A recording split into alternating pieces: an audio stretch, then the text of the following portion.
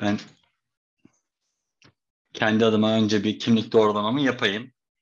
Ee, beni tanıyan arkadaşlar da aramızda zaten yüz yüze. Şimdi pandemi var, karda bizi hapsetti. Sonra dışarı çıkınca belki karşılaşırız. O anlamda beni bu e, kamera girişinde görün, sunum girişinde görün kameradan. E, akış boyunca zaten sunum boyunca kapatıyor olacağım. E, bizim görüntüye ihtiyacımız olmayacak. Bir soru cevap bölümü yapacağız 10-15 dakika. Eğer sorularınız olursa yazarsanız e, soru cevaptan onları da cevaplıyor olurum. Dilim döndüğünce hoş geldiniz, sefa getirdiniz. Ben kameramı kapatıp sunumumu e, paylaştıktan sonra webinarımıza başlıyor olacağız. Tekrardan teşekkürler şu an dinlemeye başlayan herkes için.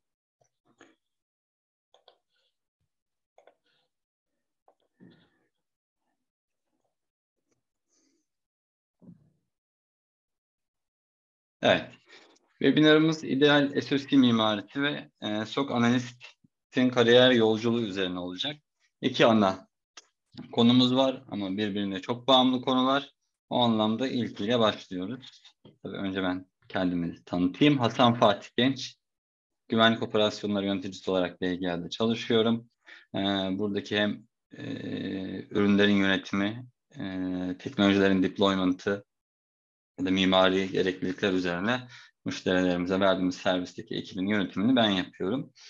Ee, burada birçok arkadaşımızla çalışıyoruz. Keza Blue Team olarak da yine BGA'da e, SOC ekibimizle de yakın ilişkiler içinde çalışmamız devam ediyor.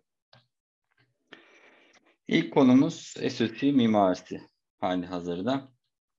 Şimdi SOC mimarisi bilindiği üzere SOC deyince hep önümüze, aklımıza büyük ekranlar, koltuklar, e, kapalı bir oda, e, alarmlar, e, uyarılar vesaire geliyor.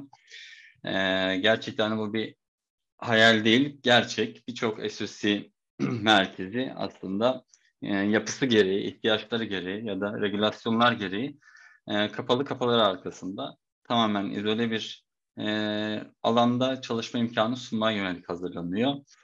E, buradaki ekranların büyük olması tabii ki bizim video wall dediğimiz ya da işte dashboard dediğimiz görsellerle bizim o anki hem atak durumumuzu hem e, görsel o anki durum yakalamamız için, o anki durumumuzu yakalamamız için bir şey sağlıyor ama aslında her analistimizin önünde kendi laptopu PC'si mevcut hali hazırda izliyor. Bu e, birçok e, Türkiye içerisinde, yurt dışında da aşağı yukarı bu yapıyla konumlandırılıyor. Peki SOC deyince biz ne anlıyoruz? Yani ne anlamamız lazım? SOC'nin tanımı nedir? Ee, bunu SOC merkezleri, e, otoriteler nasıl tanımlıyor? Aslında gün sonunda biz burada bir önleme, tespit etme ve analiz üstüne bir kurgu oluşturduktan sonra e, o kurumun güvenlik postürünü yansıtan sürekli izleme ve iyileştirme üzerine kurgulanmış insanı, süreci ve teknolojisiyle harmanlanmış bir fonksiyon görüyoruz. Bu anlamda SANS'ın e, tanımı en kapsamlı, burada en e, denk düşen benim sıkça kullandığım bir SOC tanımıdır. Yani bizim burada SOC ile bütün atakları görme, her şeyi engelleme, yüzde yüz güvenlik değil. Aslında biz burada e, predefine, predefine ettiğimiz, tanımladığımız, izlediğimiz, tespit ettiğimiz atakları ya da e, olaylar sonrası etkilerini minimize ettiğimiz bir merkez, bir fonksiyon oluşturuyoruz. Peki bu merkezi tetikleyen şey ne? Yani burada neden, neyi, nasıl yapıyoruz, kimlerle yapıyoruz sorusu çok önemli hale geliyor. Ee, neden e, bir regülasyon olabilir, compliance olabilir, e, risk olabilir. Yani bir tehdit, bir siber saldırı olabilir. Bu bizim aslında bir SOC oluşturma sebebimiz. Peki neyi koruyoruz? Biz kurumumuzdaki asetleri koruyoruz, user'larımızı koruyoruz, envanterimizi koruyoruz, varsa müşterilerimizi koruyoruz ya da onların e, bilgilerini, e, envanterlerini koruyoruz. Nasıl? Altında bir teknoloji altyapısı konumlandırarak e, izleme olsun, prevention olsun, detection olsun, analiz olsun bu tür bütün teknolojilerle birlikte bu fonksiyonu yerine getiriyoruz. Peki bütün bunları yapan, süreçleri oluşturan, süreçlere uyum gösteren, bu altyapıyı yöneten ve kullananlar kimler? Aslında SOC takımlarındaki analist arkadaşlarımız ve security engineer'larımız oluyor. Bununla birlikte bir ideal SOC işleyişi nasıl oluyor, nasıl olmalı? Bugün sonunda birçok e, kurumda da e, SOC merkezinde de uygulanan, uygulanmaya çalışılan belli bir olgunlukla da gelinmeye çalışılan nokta oluyor. Öncelikle biz kurumdaki event loglarını merkezi bir yerde topluyoruz. Toplanmış. Bunları tra- tra- e, neler oluşturur? Trafik logları, event kayıtları, e, işletim sistemindeki hareketler, e, web sunucu erişimleri gibi e, bütün altyapıda oluşabilecek kayıtları tek bir yerde, merkezi bir yerde topladıktan sonra biz bunu sadece log management değil bir intelligence haline dönüştürüyoruz. Buna bir korelasyon e, mekanizmasından geçirdikten sonra artık şüpheli olduğuna dair alarm oluşturduğumuz senaryolar, instantlar üretmeye başlıyor. Bu instantlar öncesinde alınacak aksiyonlar olur, veri zenginleştirilmesi olur. Bir e, aşamadan daha geçtikten sonra artık analiz için birinci seviye analistin önünde anlık olarak yansıyor. Bir zaman geçiyor, logun alınması, işlenmesi, e, analize hazır hale getirilmesi gibi ama bunların olabildiğince real time olması, hızlı ilerlemesi bizim için önemli. Çünkü daha sonrasında da bunların kritikliğine göre incelenme söz konusu oluyor. Level 1, Tier 1 dediğimiz analiz bu incident'ı inceledikten sonra vereceği karara göre kendisi bunu değerlendirmeleri sonucu false pozitif işaretleyebilir, iyileştirmeye götürebilir, e, aksiyon alabilir veya şüphenin e, derinliğine ya da e, etkisini de baz alarak bir eskalasyon süreci başlatabilir. Burada artık Tier 2 dediğimiz analiz ekibine bir eskalasyon süreci başlıyor. Burada daha derin analiz, e, daha detaylı analiz, etkisi, riski, e, olaya dönüşüp dönüşmediği gibi değerlendirmeler yapıldığı aşamayı bu arkadaşlar yönetiyorlar. Buna göre de alınacak aksiyonları, yapılacak müdahalelere karar veriyorlar. Çünkü buradaki eskalasyon süreci neden önemli? E, Tier 1 dediğimiz analistin aslında sürekli bir e, incident e, analiz etme, onları gözden geçirme, riskine karar verme gibi bir aşaması olduğu için detayların sürecini ya da etkisini inceleyecek ekibimiz Tier 2 ekip oluyor. Daha sonrasında Tier 2 ekibinde ihtiyacına göre ya daha detaylı bir malware forenzik analize e, dahil ediliyor süreç, makine e, vesaire ya da bir iyileştirme, bir geliştirme ihtiyacı sebebiyle onlar da kendi süreçlerini işletebiliyorlar. Tüm bunların aslında bir platform üzerinden bir ticketing sistemi olabilir, SOAR sistemi olabilir, bir CM sistemi olabilir, CM dediğimiz sistem olabilir. Yani bir platform üzerinden yapılmasının ıı, türlü avantajları var. Ee, her kurumda değişebilir. Ee, her kurumun kendi süreci, kendi altyapısı, kendi süreçleri tamamen farklı işleyebilir ama e, bu SOC altyapısında aslında yetkinliğe ve sorumlulukları baz aldığımızda bu tür bir SOC işleyişi idealde görmemiz gereken bir yapı oluyor. Çok pardon. Peki bu SOC'yi biz parçalarına ayırdığımızda altta ne görüyoruz? CM diyoruz, SOAR diyoruz, e, endpoint diyoruz, network diyoruz. Bu kelimeleri zaten sıkça kullanıyor olacağız. E, Gartner burada yıllardır öngördüğü bir e, görünürlük üçgeninden bahsediyor ve daha sonrasında bunun karşılığı olan modern Security Operation Center yapısında neler olmalı gibi ana başlıkları bu iki görselle size aktarıyor olacağım. E, bu SOC Visibility Triad dediğimiz aslında bizim yapımızdaki normal ve anormal davranışları tanımlamamızı, olayların öncesi veya sonrasındaki girdiği e, kök nedeni, etkisini, kalıcılığını görmemizi sağlayan, e, yayılımı görmemizi sağlayan teknolojik fonksiyonları anlatıyor. CM dediğimiz Security Intelligence and Event Management. Bununla birlikte UAB'yi dahil ediyor ve bu son yıllarda teknolojiler çok e, üstüne çalışılan bir konu. User e, Entity Behavior Analytic. Yani bir event kaydını üzerinden yazılacak korelasyon bir intelligence'a ek olarak bunun davranışsal analizi, e, olası e, bir zero day olur, insider threat olur bunların tespiti için artık bu teknolojiler bazen bundle olarak dahil edilebiliyor CM'lerin içerisine e, ya da alternatif çözümlerle burayı zenginleştirebiliyoruz. E, CM dediğimizde aklımıza da neler gelir? QRadar gelir, Splunk gelir, Elastic gelir, e, ArcSight gelir. Bu tür birçok vendordan söz etmek mümkün. Endpoint Detection, Network Detection aslında bizim CM'deki o aldığımız event kayıtlarına ek olarak e, uç noktalarda görünürlüğümüzü arttıracak e, EDR teknolojilerine ihtiyacımız oluyor. Neden? Çünkü bazen biz fileless atak yaşayabiliyoruz ya da bir proses historiden saldırının e, davranışını analiz eden bir EDR çözümüyle bunu tespit edebiliyoruz. Bu da bizim yine hali hazırda görünürlüğümüzü arttırıyor, farkındalığımızı arttırıyor. E, keza bir sonraki aşamada respons sağlıyor. Ne gibi? E, izolasyon ortamı oluşturma, uzaktan komut çalıştırma, müdahale etme e, gibi yetenekleriyle de EDR burada bizim kasımızı güçlendiriyor.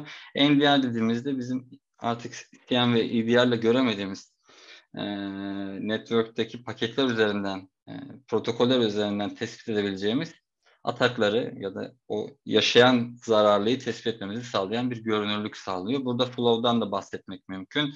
E, paket, full paketten de bahsetmek mümkün. Farklı teknolojiler, farklı yapılar sağlaya, faydalar sağlayabiliyor. Bunlar günden güne olgunluk oluştukça belli bir e, seviyeye gelindikçe aslında bize fayda sağlıyor. İlk başta her biri için post pozitif alarm üretme ya da bizi yanıltacak bildirimler atma gibi durumlar söz konusu olabilir. E, ama gün sonunda biz bir tespiti, analizi e, ve sonrasında müdahaleyi yapacağımız zaman bu üç temel fonksiyona ihtiyacımız oluyor. Tabii teknoloji var ama elimizde bu teknolojiyi biz nasıl kullanıyoruz, nasıl SOC'de hayata geçiriyoruz? Bir CTI ile yani Threat Intelligence altyapısıyla beslememiz bizim için kritik.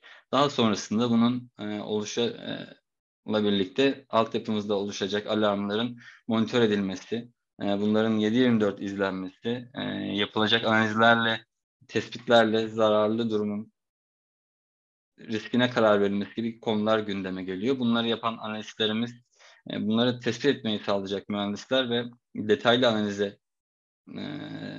sağlayacak yine incident response ekipleri söz konusu oluyor. Peki SOC modelleri. Peki Gartner bunu nasıl modellemiş? Ana üç modelden bahsediyor. Hibrit, e, internal ve tiered dediğimiz. E, ama genelde bunları beşe bölüyor aslında kendi içerisinde de. E, bunların neleri var? Avantaj ve dezavantajları var. Avantaj ve dezavantajları bağlayan şeyleri e, şöyle sıralamak lazım.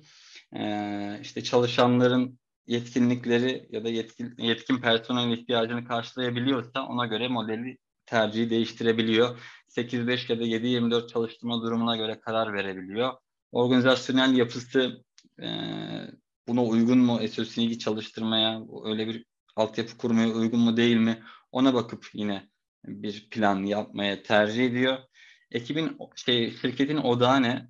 Yani bir güvenlik mi, availability mi, e, ticaret mi, gibi konular e, yine kararı etkiliyor.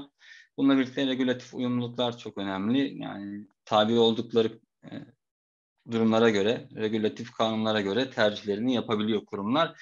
Ve en önemlisi hepimizin karşısına çıkan bütçe tercihleri. E, bir finans fizibilitesi ihtiyacı doğuyor gün sonunda. Bunlara göre de hibrit, internal ya da tiered seçilebiliyor. Peki bu modeller neyi karşılıyor? Ee, SAS dediğimiz Security Operation Center as a Service. Yani Virtual Service, Outsourced Service dediğimiz artık cloud teknolojileri e, bildiğiniz gibi birçok alanda mümkün. Firewall'da da mümkün, IPS'te de mümkün. E, sadece sunucu bazında değil. Artık güvenlik ürünleri de cloud'da konumlandırılabiliyor. E, SOC de artık bu noktaya geldi. E, bir kurum, e, bir teknoloji altyapısı, konumlandırması ihtiyacı duymadan bu güvenlik izleme hizmetini e, dışarıdan outsource edebiliyor.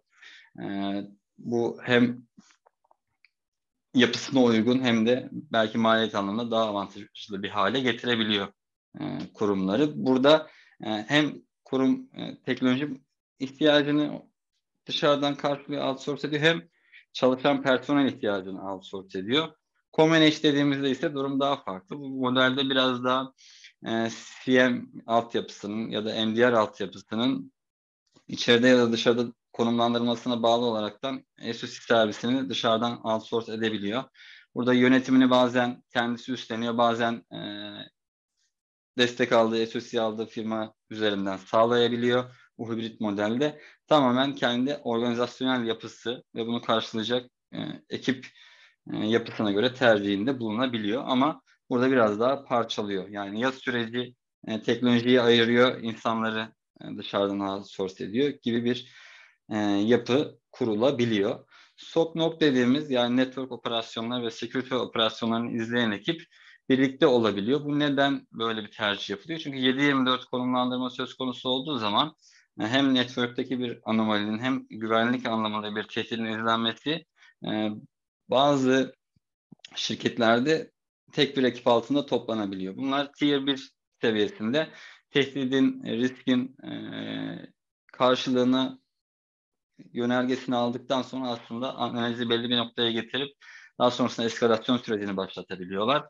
gibi konular söz konusu. Burada ne gibi bir handikap var? Buradaki handikap e, hem network izleme hem güvenlik izleme olduğu zaman yetkinlik anlamında, analistin gelişimi anlamında odaklanma noktasını saptırabiliyor. Bu anlamda burası biraz daha tercih anlamında farklı yerlere gider bir yapı. Dedicated SOC, internal SOC. Ee, burada tamamen bütün kaynakları, teknolojisi, süreci, e, SOC 724 izlemesi, e, instant response, malware analiz e, gibi bütün başlıkları, bütün fonksiyonları aslında içeride barındırıyor. Ciddi bir maliyet gerektiren, ciddi bir altyapı yatırımı gerektiren, insan kaynağı yatırımı gerektiren bir e, SOC tercihidir. E, kurumların durumuna göre, e, bütçe kararına göre ya da organizasyonel kararına göre böyle bir seçim yapılabilir. Comment Associate Tier dediğimiz aslında son taba giriyor. Tier'da ise daha e, holding gibi düşünmek lazım. Yukarıdan bir güvenlik uygulama prosedürü geliyor ve tamamen alttaki bütün e, kurumlar ona uygun kendisi geçişini yapıyor, hazırlığını yapıyor, uyumunu sağlıyor gibi.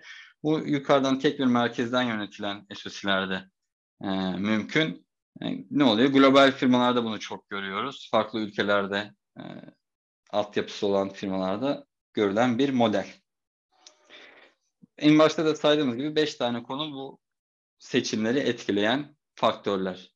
E, eleman ihtiyacı, e, personel altyapısı uygunluğu, organizasyonel yapılanma, yani burada kadro var mı yok mu, yani bununla uğraşmak istiyor mu kurum, işte şirketin odağı ne, yani güvenliği işte kimi ön planda tutar ve bütün bu dedicated SOC'yi e, kendi içerisinde halledebilir. Regülatif uyumluluklar noktasında yine altyapının dışarıda barındırılması, içeride barındırılması gibi konular gündeme gelebiliyor. Bütçe yönetimi de diğer e, ve hepsini bağlayan bir konu aslında kararımızı etkiliyor. Şimdi gelelim SOC'nin üç temel birleşenine. SOC deyince aslında PPT de aklımıza geliyor. Yani en baştan beri hep konuşuyoruz. Sans'ın tanımında da bahsettik. Ee, insan, süreç ve teknoloji kombinasyonu dedik. Aslında SOC e, bu üç ayak üstüne oturuyor. Bizim e, insan kaynağımız, süreçlerimiz ve teknolojik altyapımızı ne kadar birbirine dengelerse aslında SOC'miz de o kadar güçlü oluyor. Hiçbir birbirinden daha ön planda olmayabilir. Şimdi burada insan kaynağı deyince aklımıza gelen şey yine organizasyon yapısı e, üzerine oturtuyoruz. Burada e, kişilerin takımlardaki rol ve sorumluluklarının belli olması, bunlar arasındaki sürecin belli olması, yetkinliklerin belli olması ve bu e, sertifikasyonların, eğitimlerin tamamlanması e, SOC'deki insan kaynağını güçlendiren bir metriktir. Daha sonrasında süreç dediğimiz proses. Burada artık yönetimsel ve işletimsel konular gündeme geliyor. E, burada da e, dokümantasyon olsun, yani frameworkler olsun, neye uygun davranılıyor, nasıl davranılıyor ya da iç kontrol, dış kontrol gibi audit denetimler gündeme gelebiliyor. Neye uymak istiyor kurum ve bu uygunluğu gerçekten hakkıyla yerine getirebiliyor mu? Birazdan bunların her birini zaten ayrıca görüyor olacağız. En son ayağımız teknoloji. Teknoloji altyapısı da haliyle burada bizim bir vizibilite sağlaması, e, tespit etmemiz, e, önlememiz, analiz etmemiz anlamında bir altyapıya ihtiyacımız oluyor. Bu üçü bir araya geldiğinde biz artık e, SOC'nin olgunluğunu günden güne inşa edebilir hale geliyoruz. Şimdi bu üçü arasında dediğim gibi böyle bir denge olması önemli. Genelde e, saldırganlar içinde, kurumlar içinde en büyük risk her zaman insan görülüyor. Neden? Çünkü sosyal mühendislik atakları günden güne artıyor. E, çalışanların güvenlik farkındalığı olmayabiliyor e, gibi konular hepimizin önüne geliyor. Ama e, birçok güvenlik advisor'ının söylediği gibi aslında e, evet insan en büyük risk bizim için ama doğru süreçlerle e, güzel, iyi yönetilen, doğru yönetilen bir teknolojiyle biz bu riski indirgeyebiliriz. Keza teknolojide tek başına bir anlamı yok. Halihazırda insan olmadan yetişmiş, tecrübeli bilgi sahibi, e, farkında, eğitimli insan olmadan da teknolojinin çok bir faydası olmuyor o anlamda. Şimdi gelelim people process teknoloji. Evet, people. Hep organizasyon yapısı, ekip, rol, sorumluluk, eğitim dedik ama baktığımızda SOC'deki insan e, kaynağının bir e, konumlandırıldığı rol ve sorumluluk alanları oluyor. Sağ tarafta genel olarak cyber security'deki farklı rol ve sorumlulukları görüyoruz. Yani biz siber güvenlik dediğimizde aslında kimlik yönetimi de işin içerisine dahil oluyor. Blue Team'de, Red Team'de dahil oluyor. Ee, onunla birlikte governance tarafı da dahil oluyor. Ee, firewall operasyon, e, güvenlik operasyonları kısımları da dahil oluyor. Bunlar zaten halihazırda e, kurumun ihtiyacına göre, organizasyonun yapısına göre konumlandırılan rol ve sorumluluk alanları. Ama biz SOC'ye baktığımızda ne görüyoruz? Tier 1 analistle birlikte başlayan bir yolculuğu Tier 2 dediğimiz Incident Responder e, taşıyoruz. Daha sonrasında artık Subject Master Expert dediğimiz alanında uzmanlaşma, Network Threat Intel, e, malware tarafında, endpoint tarafında uzmanlaşmış kişileri görebiliyoruz. Bunların kendi aralarındaki süreçlerle birlikte bir tehdidi tespit etmesi, e, analiz etmesi o kurumun da güvenlik postürünün güçlenmesini sağlıyor. O anlamda buradaki akış, süreç, bilgi, know-how önemli bir hal alıyor. İkincisi bizim proses TPT'de proses bizim için önemli. Yine sağ tarafta genel cyber security proses e, önermemizi görüyorsunuz. Sol taraftaki SOC özelliğinde biz cyber security dediğimizde aslında işin içerisinde yine birçok konu girebiliyor. Burada e, bizim için strateji planlaması, information security yönetim programı, risk assessment'ı, e, gap analizi gibi birçok konu gündeme gelebiliyorken de bunu nasıl yapıyoruz? Bir çalışan düşünün, onun işe alındığı durumda e, kurumla ilgili bu akışı, bu süreci bilmesi gibi bir dizayn var işte onun eğitilmesi, risklerden haberdar olması, polis prosedürleri istediği zaman ulaşabilmesi, güncel bunların güncel olması kritik. E, keza e, yaşanan case'ler, bunların dizayn edilmesi, implementasyonu ve servisler anlamında bir süreç işletiliyor. Biz bunu SOC'de nasıl görüyoruz? SOC biraz daha kendi içerisinde bir incident response prosedürü bazında burada görüyoruz. Yani bir olay müdahale e, bize nasıl geliyor, biz bunu nasıl yönetiyoruz, daha sonrasında bunu nasıl avantaja çeviriyoruz gibi bir süreci burada görüyoruz. Neyle birlikte? İnsanla birlikte. Çünkü bunu sağlayan e, tier'lar arasındaki iletişim ve bu süreç. Öncelikle bizim burada bir hazırlık aşamamız, altyapıdır, tespit anlamında, önlem anlamında bir hazırlık aşamamız söz konusu. Sonrasında bunun e, tanımlanması, engellenmesi, önlenmesi ve konteyn edilmesi e, geri dönüşümün sağlanması burada recovery dediğimiz hani çalınan datanın ya da e, zarar gören sistemlerin geri döndürülmesi ve lesson learned'de artık biz bunu tekrar yaşar mıyız, yaşamaz mıyız hazırlığının mevcutta öğrenilmiş bir ders olarak kazan, içeriye kazandırılması. Şimdi people process dedik, teknolojiye geliyoruz. Şimdi teknoloji böyle arkadaşlar. Teknoloji dediğimizde dediğim gibi cyber security'de birçok e, teknolojiden bahsetmek mümkün ve her e, o alanda, her domainde farklı vendörler, farklı üreticiler, farklı teknolojiler konumlandırılıyor. Yani birbirinin alternatifi olabilir, birbirinden daha iyi, daha kötü olabilir ama baktığımızda deniz derya bir e, şeyle uğraşıyoruz. Teknoloji altyapısıyla uğraşıyoruz. Hem seçim anlamında hem bunların yeterlikleri anlamında. Biz yine Geliyoruz SOC'ye. SOC'de e, başta da bahsettiğimiz üzere guardların buradaki visibility'de kullandığı triad önemli. E, CM'den, EDR'dan, NDR'dan çok bahsettik. CM fonksiyonlarından yine bahsedelim. İşte collection, normalization, correlation gibi, consolidation gibi birçok rol sorumluluğu yerine getiriyor. E, içerisinde barındırıyor.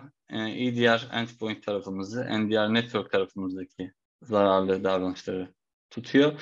Bizim için CTI çok önemli. Buradaki teknoloji altyapısında e, bir siber istihbarat platformundan e, hem bir indikatör besleme hem e, bizimle ilgili bir veri, veri sızıntısı olma durumu, bunların tespiti, bildirimi gibi konularda önemli bir hal alabiliyor. E, olgunlaşmış bir teknoloji altyapısında. Hali hazırda vulnerability management da bizim e, SOC ekibimiz için önemli. Neden? Çünkü biz e, saldırının e, etkisini ölçebilmemiz için saldırının etkili olduğu host üstündeki zafiyeti tespit eden bir tool'a da ihtiyacımız var. Bunu görebileceğimiz bir yere de ihtiyaç var. Bu anlamda vulnerability management e, yani zafiyet tespit ve yönetimi yapan bir tool teknoloji altyapısı bizim için önemli. E, SOAR burada yine hali hazırda birçok rol ve sorumluluğu kaldırıyor, götürüyor. SOC e, teknoloji brandında.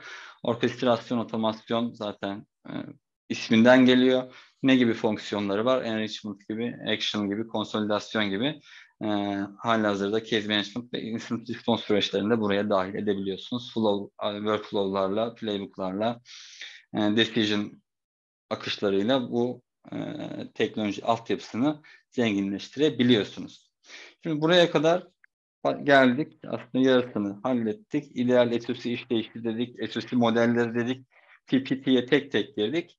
Şimdi gelelim bir SOC altyapısı nasıl kuruluyor? Nasıl kurulması lazım? Aşamaları neler?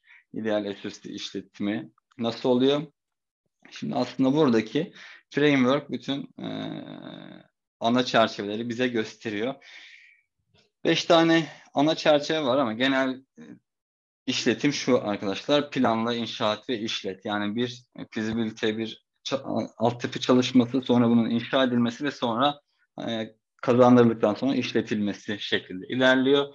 Planlama kısmı aslında bizim skopumuz. Skop dediğimiz aslında skop ve decide bizim için aynı şeyde barındırılıyor. Yani içeriğimiz ne? Yani biz neyi izleyeceğiz? E, nasıl bir e, altyapı kurmamız lazım? Bu kararı vermemiz gerekiyor. E tabi bunu içeride mi izleyeceğiz, dışarıdan servis mi alacağız, hizmet mi alacağız gibi. O anlamda ikisini birlikte düşünmek gerekebiliyor. E, çünkü skopu belirlerken e, insan kaynağınızı da belirliyorsunuz. E, beni bunu, benim bunu yapacak e, personelim var mı? Ekip yapım uygun mu? Yeni personel mi almam gerekiyor? Onu yetiştirmem mi gerekiyor gibi konuları ya da yeni aldığın kişiyi eğitmen gibi konuları tercih ediyorsun. 8-5 ya da 7-24 çalışma disiplinine göre bir karara varıyorsun. O anlamda planlamada bizim artık nasıl bir SOS kuracağımızı kendi işimizde karar vermemiz gerekiyor. Bununla birlikte de metrikleri belirlememiz lazım. Bizim için metrikler ne oluyor? Benim incident hacmimle yani ben gün içerisinde ne kadar vaka yakalarım, tespit ederim, ne kadar karşılayabilirim, nasıl bir ekip kuracağım, bunlara yanıt verme sürem ne olacak, yani total e, use case'im ne olacak? Çünkü bunların develop edilmesi, e, test edilmesi, implemente edilmesi gibi durumlar söz konusu. Oluşan alarmların kategorisi, bunların severity'si, çünkü oluşturacağınız workflow'ların severity'ye göre incelenme eseleleri farklı yerlere konumlandırılabiliyor. Bunlarla birlikte izleyeceğiniz bir diğer metrikte bu tespit etme süresi ve e, müdahale süresi oluyor. Bu metrikleri ölçebilir miyim? Neyi ölçmem lazım? Nasıl e, avantajlı olurum gibi bütün o fizibilite planlamayı ilk aşamada yaptıktan sonra artık dizayna geçiyorsunuz. Ne gibi tool'lar kullanılacağı, az önce gördüğümüz üzere SOC'de birçok teknoloji var. O teknolojiler içinde bir sürü vendor var. O vendorlardan hangisini alacağım, hangi teknolojileri konumlandıracağım, bunları kimler yönetecek, ne tür alarmlar oluşturacak? İşte organizasyonel yapınıza karar veriyorsunuz. Bununla birlikte geliştirdiğiniz use case'ler e, kategori bazlı olur, severity bazlı olur. Artık önünüzde bir iş yükü oluşturuyor. Çünkü izlenmeyen alarm aslında boşluğa atılmış bir e, atık haline alıyor. Eğer ki bu use case development tamamlandıktan sonra workflow akışları da dizayn edilirse biz aslında e, teorikte e, planlama kısmını hazır hale getirmiş oluyoruz. İmplementasyonu da artık bu use case'lerin gerçekten çalışabilir mi? Ee, analistlerimiz, adminlerimiz e, eğitimlerini tamamlamışlar mı, hazırlar mı? Bunların dokümantasyonu, yapı olsun, flow olsun hazır mı? Ve bizim gap'imize karar vermemiz gerekiyor arkadaşlar. Yani ben neyi izliyorum, izleyebiliyorum, e, neyi izleyemiyorum gibi konuların sorusu, soruların cevabı bizim için önemli bir hal alıyor. Bunlarla birlikte de hazırladığımız altyapıyı aslında opera etmeye haline getiriyoruz. Çünkü bizim için SOC devamlı yaşayan bir şey. O yüzden 7-24 ekiplere ihtiyacımız var. O yüzden süreçlere ihtiyacımız var. Yani tek bir e, hamleyle işi bitiremiyoruz. Sürekli bunun geliştirilmesi, iyileştirilmesi söz konusu oluyor. Operasyon tarafında da bu akışın sağlanması, belli frekanslarda kontrol edilmesi önemli. En sonda rapor bizim için önemli. Artık metriklerden bahsettik ama bunların KPI haline aldığı durumda bizim SOC performansını karşılayabiliyor muyuz? Yakaladığımız şeyler gerçekten dişe dokunur mu? Öğrendiğimiz derslerden e, kendimize bir şey çıkarım yapabiliyor muyuz gibi. Artık son halinde SOC Manager olsun, SIS olsun e, ya da diğer e, ilişkili olduğunuz ekipler, yöneticiler olsun. Bunun raporlamasıyla birlikte bir ideal SOC yapısını konumlandırmış hale geliyorsunuz. Şimdi SOC'nin başarı ve olgunluk analizi e, anlamında birçok e, kaynak mevcut aslında. Enisa C-Cert Maturity Framework var, NIST'in framework'ü var, Stanford'ın SOC e, Survey'i var gibi. Buralardan da ya da C2M2 dediğimiz işte Cyber Security Capability Maturity model var. Buradan kendinizle ilgili e, ihtiyacınız ya da kurumunuzun öngördüğü ölçüde olgunluğunuzun değerlendirmesini self-check edebilirsiniz. Evet. Şimdi ikinci aşama aslında bizim evet ideal SOC mimarisi dedik ama e, burada e, people'a çok dokunduk. SOC analistin kariyer yolculuğuna giriş yapıyoruz. Bir analistin heybesi, bir analistle karşılaştığımızda heybesinde ne olması lazım? Bizim için analistin heybesinde bu tür altı tane branşta bir şeyler olması önemli. Full değil, mükemmel değil, master değil. Bir şeyler olması önemli. Ne gibi? Network ve e, topoloji. E, network teknolojilerini biliyor olması, e, bir OSI modelden TCP/IP haberleşmesinden haberdar olması kritik. E, burada application servisinde çalışan kat, e, katmanda çalışan servisler para, paket ve trafik analizi yapabiliyor mu? Bir Wireshark açabiliyor mu? Bakabiliyor mu? Merak etmiş mi? Hangi port, hangi protokol nasıl çalışıyor? Ne anlamda bize bilgi sağlar? Bu bizim için önemli oluyor arkadaşlar.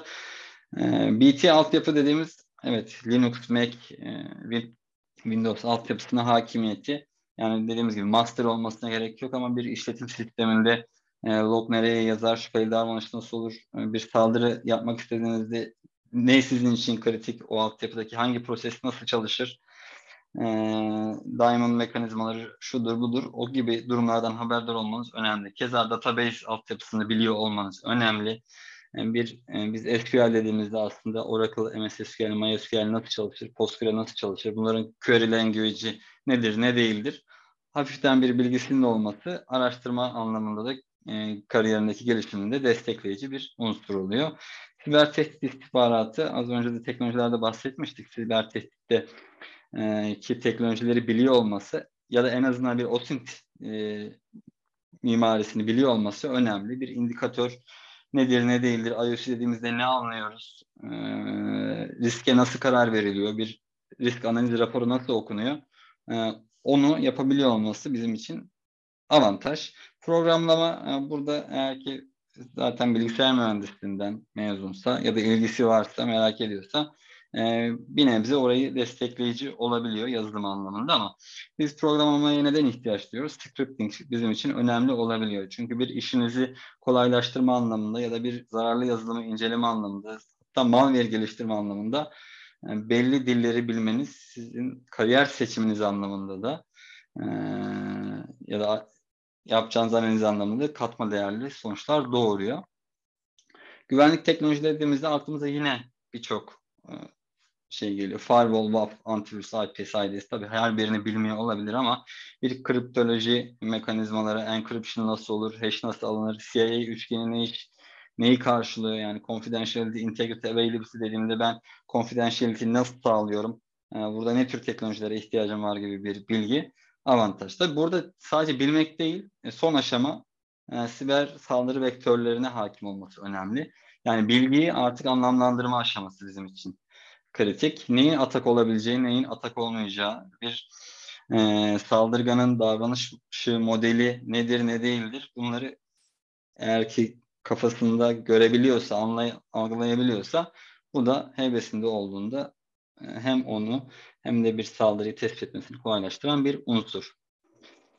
Peki analistin ajandası saydık saydık saydık analistin ajandası yoğun arkadaşlar. Bir gün içerisinde birçok e, atak tipiyle karşılaşabiliyor. E, birinden öbürüne geçebiliyor. Dediğimiz gibi bizim için e, kategori çok önemli, severity çok önemli. Bu anlamda da analiste kendi önüne düşen saldırıları e, tespit ederken bir nebze evet hepsinde CMS fuara gidiyor belki ama e, nihayetinde erişimi olduğu sistemlerde aslında bu güvenlik teknolojilerinde bunların analizini yapması gerekebiliyor. Bunlar da kategoriye göre değişkenlik gösteriyor. Bunları aslında yakın teknolojiler olarak düşünebilirsiniz. İşte bir web attack aldığınızda, bir SQL injection olsun, bir XSS aldığınızda biz e, bunun sunucuya erişip erişmediği, sunucuya eriştiyse nasıl döndüğü gibi konuları görmemiz ya da saldırı e, engellendiyse saldırganın başka ataklar yapıp yapmadığını e, ya da payload'la ne gönderdiğini IPSID'yiz, WAF'tan görürüz. Network Activity'yi e, elimizin altında bu teknolojilerden birisi varsa onlardan tespit edebiliriz. E, endpoint için keza antivirüs, EDR, APT. Sosyal engineering çok sık karşılaştığımız bir atak türü. Yine bir e, maille olabilir. Bir şekilde içeri e, sızdırılmış bir şeyin tespiti söz konusu olabilir. Yine CTR bizim için burada önemli. Account compromise olduysa nasıl oldu, e, sonrasında hesabıyla neler yapıldı, bize detaylı ve, ve komple tabloyu çizecek olan yine burada CM oluyor. Data leak olsun, malware olsun, denial of service olsun. E, bu tür ataklarla gün içerisinde karşılaşıyor analistler. E, şunun farkında olmak lazım. Genel olarak da bunlarla karşılaşıyoruz. Hani e, gördüğümüz kategoriler bunlar oluyor analist arkadaşlar için. Evet, analistin bir günü nasıl oluyor? 7-24 bir SOC ekibindeki e, arkadaşımın e, vardiyayı devralmasıyla başlıyor aslında bu. Sistemlerine giriş yaptıktan sonra evet login oldum, eriştim, baktım. Alarm düşüyor mu, düşmüyor mu? Evet artık alarmları almaya başladım. Bunların analiziyle birlikte ne tür kararlar aldıysam işte onun iyileştirilmesi, false pozitifi ya da bir aksiyona dönüştürüyorsam artık onun kararını veriyorum. E, ekipleri 7-24 çalışırken 3 vardiyada her vardiyada farklı e, işte ikili, üçlü, dörtlü, beşli e, gruplar halinde çalışabiliyorlar. Burada takım çalışması çok önemli bir hal alıyor. Neden? Çünkü aynı saldırıyı başka bir arkadaş da o anda inceleyebilir ya da benzer bir saldırıyı daha önce e, incelemiş olabilir. Bu anlamda takım çalışması önemli. E, bununla birlikte eğer ki tehditle ilgili detaylı, yani kendi takım içerisinden o e, detayı göremiyorsa vaktimizi de efektif kullanıp eskalasyon sürecini başlatıyoruz ve bununla birlikte günü tamamlayıp vardiyamızı teslim ediyoruz. O gün yaşandığımız olağanüstü bir durum vardır, karşılaştığımız bir şey vardır gibi konuları da aktararak e, bu stickerlarla ben çok arkadaşımda gördüm sticker kullanımı yaygın tercih ediliyor. E, evet gününü tamamlıyor. Bir de analistin karanlık dünyası var, ruh hali. Yani analist ne hissediyor, ne yapıyor, analistin problemi ne, neyle karşılaşıyor. Aslında bunları da ele alalım istedik. Kariyer yolculuğunda karşılaşacağı için e, farkındalığını da sağlamayı amaçlıyoruz. Yüksek sayıda alarm. Çünkü biz ne diyoruz? İşte alarmların e, oluşturan kaynakların tuningi çok önemli, e, e, scope çok önemli, e, neye hizmet ettiği çok önemli. O yüzden doğru e, adreslenmesi, kişilerin sorumlulukların e, adreslenmesi çok kritik hale geliyor. Öyle olmadığında ya da sistemlerin, teknolojilerin iyi yönetilmesi çok önemli. Öyle olmadığında çok post pozitif tekrarlayan e, ya da ilgi alanı olmayan yüksek sayıda alarmla analisti boğabiliyoruz. E, analist eğer ki bir e, enrichment action gibi fonksiyonları olmayan bir ortamda hayatını sürdürüyorsa e, işte IP'ye baktım, skorunu çıkardım, raporunu okudum, işte e, kimlik bilgilerini test ettim, makinenin endpoint ajanındaki şeyleri check ettim gibi süreyi aslında biz o analisti manuel yapmasını istiyoruz. Böyle istediğimiz durumda da 30 dakika ortalama veya bazen üstüne çıkabiliyor e, gibi bir süre bir alarm için harcanıyor ama biz günde bazen e, yüzlere varan alarm incelemesini bekleyebiliyoruz analistten. E, bununla birlikte hunting yani analistin evet bazen daha detay girmek isteyebiliyor, merak edebiliyor, analiz, et, analiz etmek isteyebiliyor. Ya da gözüne bir şey çarptığında ona bakmak isteyebiliyor. Önünde çünkü bir dünya kaynak var sözde ama bakamıyor. Neden? Çünkü zamanı yok. Neden? Çünkü kaynak yok, görünürlüğümüz düşük. Bu gibi durumlarda analistin motivasyonunda etkili olabiliyor. Yani süreçler belirli değilse analiz, e, böyle SOC ekipleri dediğimiz gibi takım çalışması çok önemli. Takımdaki herkesin senkron olması çok önemli. Biri e, bir aksiyonu aldıktan sonra öbürü o aksiyona farklı bir respons müdahale yaparsa sıkıntı yaşanabilir. E, aynı şekilde değerlendirilmediğinde ya da sonuç aynı yere varmadığında e, gözden bir tehdit kaçabilir arkadaşlar. Bu durumda da süreçlerin belirli olması analist içinde, kurum içinde önemli. Analistin bir de tükenmişlik sendromu bu noktalarda yükselebiliyor. Neden? 7-24 çalışıyor. 3 vardiya e, modelinde. E, bununla birlikte yoğun stresli bir iş temposu var. Artık burnout seviyesine gelmiş. Bu tükenmişlik sendromu da yetişmiş insan kaynağı problemi yaratıyor. Neden? Çünkü e, kendine bir şey katamıyor. E, bu işten belki de ayrılıyor. Başka bir e, sektöre kayabiliyor. Keza yine PPT'den çok bahsettik. Burada analistin gelişimine verilen değer de e, küçümsenmemeli ya da geri plana atılmamalı. Dediğimiz gibi o denge çok önemli. Teknoloji prosesi people. Bu anlamda da bizim birinci gözümüz, ilk gözümüz olan analistlerin e, buradaki karanlık dünyasından çıkması, sağlanması önemli. Şimdi kariyer yolculuğu anlamında ben bir sosyal analist olarak başladığımda neler beni bekliyor, ne gibi rol ve sorumluluklara e, bölünebilirim. E, junior olduğumuz durum için bu işin bir de senior olması aşaması var. E, sorumluluk alanımız büyüyor, yetki alanımız büyüyor o anlamda. Bilgimiz, tecrübemiz artıyor. Bununla birlikte olay müdahale analisti keza başka bir rol alanı. Burada dokümantasyon, e, yüz kez geliştirme, e, içerik geliştirme gibi gündemler söz konusu. E, intrusion detection teknolojilerinin kullanımına yeteri seviyeye ulaşılması gerekiyor. Bir sonraki aşamada threat hunter dediğimiz artık threatleri yani gözleriyle tespit eden, oradaki metodolojileri, araştırmaları mesaisinde kullanan e, kıdemli arkadaşlarımız geliyor karşımıza. Tabii bunun bir de raporlanması söz konusu, doğrulanması. Bir sonraki aşama forenzik dediğimiz e, burada incident response ekipleriyle yakın çalışan bir rol. E, forenzik fonksiyonlarına bakıyor. Bütün datayı examine ediyor artık sayfalar, e, terabaytlar vesaire. Mesaisi bununla geçiyor. SOC Engineer'da bu alt SOC'nin içerisindeki e, teknolojilerin yönetimi, süreçlerin e, maintenance, iyileştirilmesi, use case workflow oluşturulması gibi rol sorumluluk alanı olan e, bir diğer başlık. Burada günden güne aslında yıldan yıla edinilen tecrübe, e, kazanılan bilgi, know-how bizim kariyerimizi bizi belirliyor. Biz de bunu körüklüyoruz aslında. Ne olmak istediğimizde karar vermemiz önemli. Neye ilgi duyduğumuz, işimizi e, ya da sahip olduğumuz imkanları doğru kullandığımız, iyi kullandığımız alanlarda kendimizi bir sonraki aşamaya taşımamız mümkün olabiliyor. Peki bunu neylerle ispatlayabiliriz? Belli sertifikalar var arkadaşlar bu alanda. Ee, yine EC Council'ın e, analitik sertifikaları, instant, instant Handler sertifikaları, forensic sertifikaları. Zaten her biri kendi içerisinde Threat Intelligence analiz sertifikası. Her biri kendi içinde uzmanlığı gerektiriyor.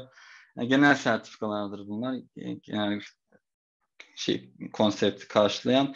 Yine G-Yakın sertifikaları var. Ben buraya dördünü koydum ama aşağıda hem SANS'la eşleşen e, içerik, eğitim ve sertifika e, kapsamını görebilirsiniz. Burada da e, security essential'ları, network, e, endpoint hatta cloud security özelinde eğitimler, sertifikalar mevcut oluyor. E, hatta instant handler'da hacking tool'a kadar giriyorsunuz. Çünkü bir vakayı tespit edebilmeniz, olayı anlayabilmeniz için oradaki tool'ları belki de replay etmeniz sizin için önemli. CompTIA Security Plus keza öyle yine güvenlik e, için geçerliliği olan bir sertifika. Sistem Security Certified Practitioner'da bizim e, sistem güvenliği, sistem altyapısı gibi giriş sertifikalardan bir tanesi önerilerimiz arasında. Şimdi analistin gün içerisinde tabii e, birçok incident'ı handle ettiğini düşünürsek, yönettiğini incelediğini düşünürsek e, kalan vakitlerinde kendi gelişimini ücretli ücretsiz platformlardan sağlayabilir. Buraları çıkardık. Let's Defend'in e, iki yerde de yazdım. Çünkü free kısmı da bir nebzeye kadar sizi götürüyor. E, commercial kısmı da var. E, Udemy'de de 32 tane cyber security kursu var. 2 tanesi free ama onu commercial'a yazdım. Diğer şeyleri de inceleyip kendiniz için bir yol haritası oluşturabilirsiniz. Evet. Şimdi burada son slayta gelirken e, analistin yetiştirme kampı e, son sınıfta okuyan, üniversite son sınıfta okuyan, lise değil, üniversite ve e, yeni mezun arkadaşlardan, çevrenizden bu mesleği düşünen, merak eden, e, e, bu alanda kendini geliştirmeye e, öngörüsüne sahip arkadaşları yönlendirebilirsiniz ya da kendiniz yine keza o kişiye bu kariyeri yönlendirebilirsiniz. Bu e, kamp için başvurularımız 14'üne kadar devam ediyor. Yine LinkedIn hesabımızdan görebilirsiniz. QR'dan da okutabilirsiniz. Beni dinlediğiniz için teşekkür ederim. Webinarımız bu kadardı. Şimdi. Evet. Teşekkürler. Ben kameramı da açtım. Soru cevapları da açtım. Şöyle hızlıca geçiyorum. Ben teşekkür ederim dinlediğiniz için. Bazen hızlı konuşurum, bazen yavaş konuşurum ama umarım e, bir kesinti, bir e, aksaklık olmamıştır. Evet. Soru cevap olmadı. Evet. Son kez soruyorum. Soru cevabınız varsa bu webinar için buradan alabilirim. Ee, yok ise hani bugün gelmiyor aklıma dediğimde de diyorsanız da e, sunumun başında da mail adresimi paylaşmıştım. E, oradaki iletişim bilgileriyle de iletişime geçebilirsiniz. Bakıyorum. Şimdi bir dakika. Chat'in bir kısmını kaçırmışım. Hemen tekrar baştan okuyorum. Ses mevcut bende. Evet. Orada o başlar zaten. Slaytlara erişebilir miyiz sorusu gelmiş. Ona dönmüş olmamız lazım. Slayta değil de webinara erişebiliyorsunuz. Yeni olmayan mezunlar katılabiliyor. Mezunsan katılabilirsin. Yeni olmayan katılır. Yani e, kaç yıl geçti bilemiyoruz. Yani bu şöyle içerikten çok kısa bahsedeyim. E, o heybeden heybeyi dolduracağız aslında arkadaşlar. Bir giriş seviyesinde, network sistem seviyesinde bir anlatım olacak. E, onunla birlikte detection üzerine anlatım olacak. Sonra da e, incident e, yönetimi, olay yönetimi üstüne bir anlatım olacak. Tabi detayları, takvim vesaire başvuru sonrası e, okey alan arkadaşlarla paylaşıyor olacağız ama e, bu şekilde bir program. Teşekkürler. Sunum paylaşımı sorusu çok gelmiş. Slaytları gönderemiyoruz. Şükran. Evet. Şimdi evet başlangıç düzeyi analistler için e, öngörüyoruz. Aynen yeni mezun. Yani yeni mezundan kastımız şeyde olur. Şey, bu işe yeni girmiş ya da işte başka bir sektörde çalışıyordur. Data scientist'tir. E, merak ediyordur. E, gelmek istiyordur. Onunla ilgili de öne açık. Ki dediğimiz gibi bir eleme sınavı olacağı için orada da biraz hem meraklı hem de e, biraz heybetini doldurmuş arkadaşları tercih edecek. Başvurabilirsiniz Oğuzhan Hocam. Ee, bölüm fark etmez. Chat, chatte var sorular demiş. 3 ay. 3 aylık heh, e, nükte biraz yanıtlamaya çalıştım. Ee, dediğim gibi genel o heybeyi doldurmaya yönelik daha detaylı hatta bazen implementasyonlar, lablar üzerine bir şey olacak. Ee, kamp olacak. Evet. Ömer Faruk. Bölüm önemli değil, merak ediyor olman önemli. Benim e, farklı e, fakültelerden arkadaşlarım bu sektörde çok çok iyi yani. Hani o bilgisayar mezunu arkadaşımdan daha iyi yerlere geliyor. Çünkü merak ediyor, öğreniyor, e, kendini bu işte gerçekten bir yerlere getirmeye çalışıyor. O anlamda e, sen de eğer ki bu kariyer petini seçersen yani tabii mühendislikle belki güzel sanatlar farklı olabilir ama e, yatkınlığın varsa yakalayabilirsin. Yazılım ve analiz Anonymous. Boş geçiyorum onu. Ana. Evet. Ha, şimdi Muhammed güzel. Güzel soru sordun. Soru ismiyle de uyuşuyor. Soru e, güzel. E, ne diyor? Ülkede sertifika fiyatları evet çok yüksek. E, bunların yerine bir CV'de eğitim aldığınıza dair bilgilendirme sunsak yeterli olur mu? İşe alınma olasılığımız. Yani şöyle, e, şimdi bazı beşler de var. İşte e, sertifika e, ya da online eğitimler sonrasında aldığınız, quizlerle aldığınız ya da bir eğitime kampa katıldınız. Önceden bazen şey yerinde oluyordu, okul, üniversitelerde oluyordu. Onlar artık çok yapılmıyor. Ama onlar çok çok kıymetli. Katıldığınız yerlerde kendinize bir şeyler alıyorsanız o daha önemli. Yani sertifika alıyor olmanız evet sizin bir iş görüşmesinde birkaç adım öne geçmenizi sağlayacak. Ee, ama şey de önemli, fayda sağlamanız önemli. Bu arada işte birçok vendor'un e, da eğitim şeyleri var, learning pad'leri var. E, özellikle CM vendorları için ben e, önerebilirim. Onları kovalayabilirsiniz. Zaten kampta daha önce tabii anladım. Kamp daha önce tavsiye edildi. Canan sorunu anlayamadım. Soru bende oturmadı. Kamp daha önce tavsiye ettiğiniz programlardan birisine katılanlar için önerir misiniz?